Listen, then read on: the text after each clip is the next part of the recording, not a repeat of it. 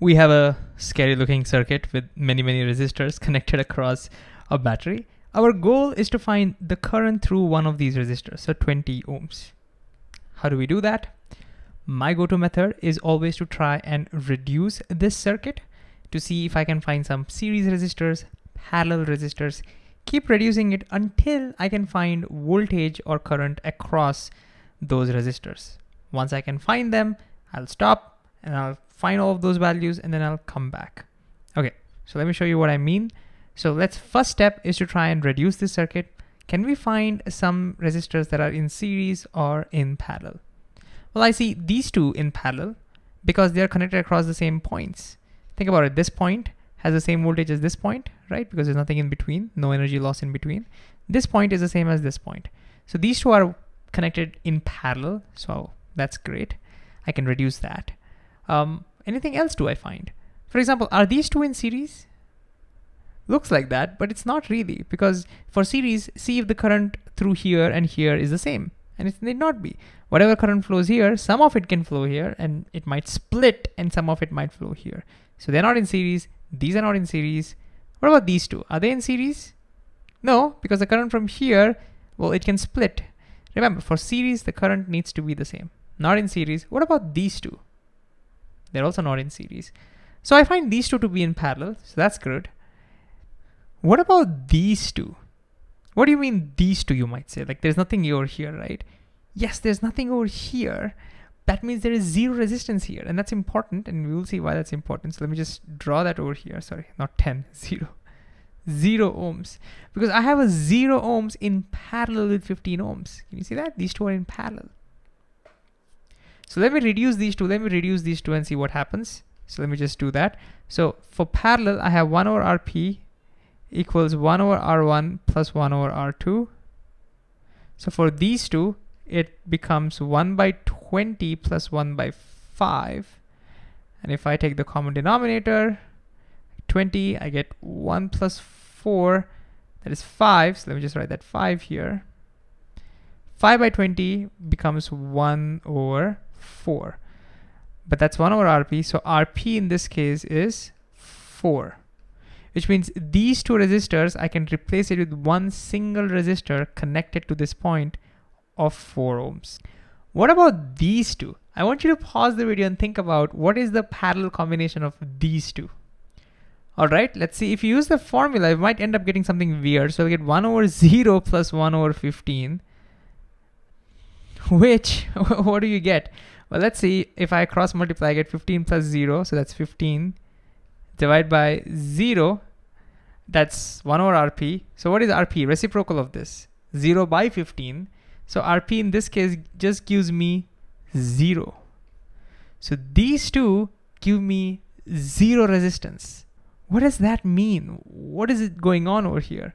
Well, think of it this way if there is no resistance over here, whatever current flows here, all of the current from here will flow here. There'll be none of the current flowing from this branch.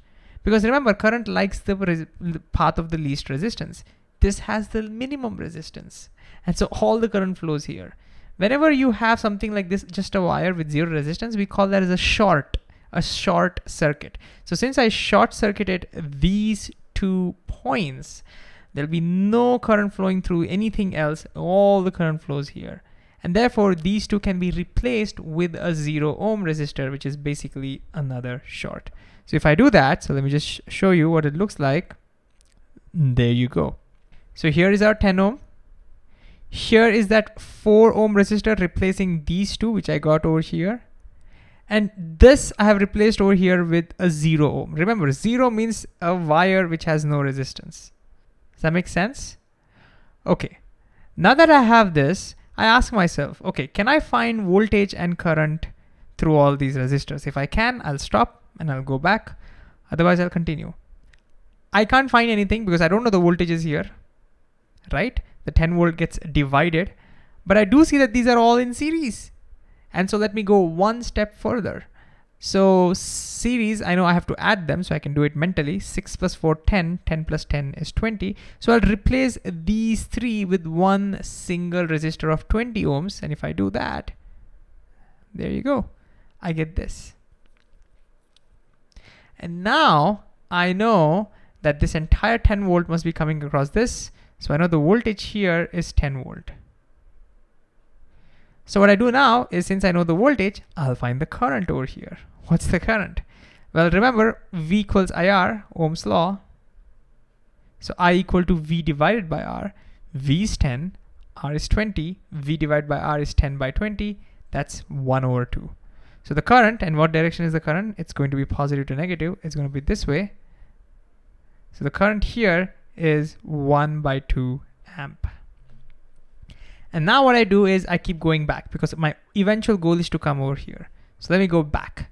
When I go back from here to here, look, this wire is the same as this wire. This wire is the same as this wire. Remember, all these three together became that 20 ohm. So that stays the same, which means the current stays the same here.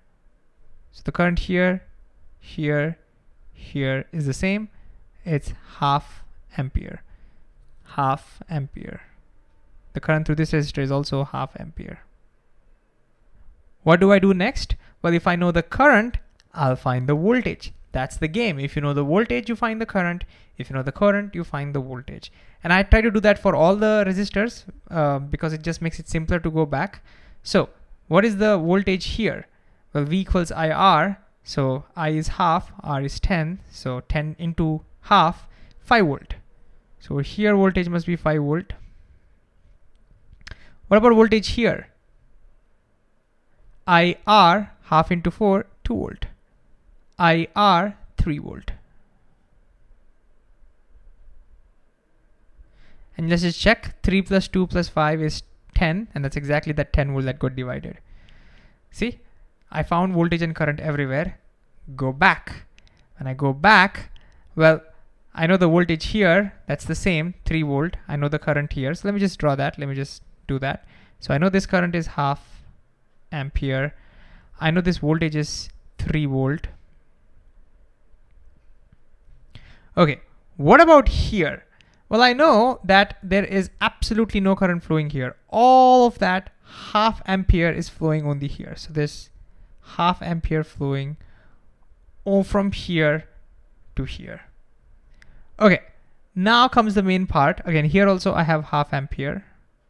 And here also I have the voltage of 5 volts, so that's 5 volt. Okay, what happens here? Remember, this 4 ohm came from the combination of these two. What do I do here? Can you pause and think about this? All right, this is a parallel combination, right? In parallel, the voltage stays the same. I know the voltage here is 2 ohms, sorry, 2 volt. So the voltage here and the voltage here must be the same, 2 volt. Does that make sense? So I know this voltage is 2 volt. I know this voltage is 2 volt. And then you can now find the current. I can now find the current here and I can find the current here. V equals IR. So over here, current should be I is equal to V divided by R. So it's 1 over 10. And in fact, it's not going down. It should be going up actually. So it's 1 over 10 amps. And what is the current here? It's even if it's not asked, I can just calculate it. It is 2 over 5 amps. And if you check it, you'll find that these two add up to give you half amp. That's the half amp that we got over here. Now I know this looks like there's a lot of steps involved, but I promise you if you practice this, you'll get it. The whole game is to first reduce the circuit, uh, from the voltage find the current, come back. If it splits as a series resistor, the current stays the same, you find the voltage, and if you come back and it splits as a parallel resistor, the voltage stays the same and you find the current. And you keep doing that. So keep practicing that, you'll get it.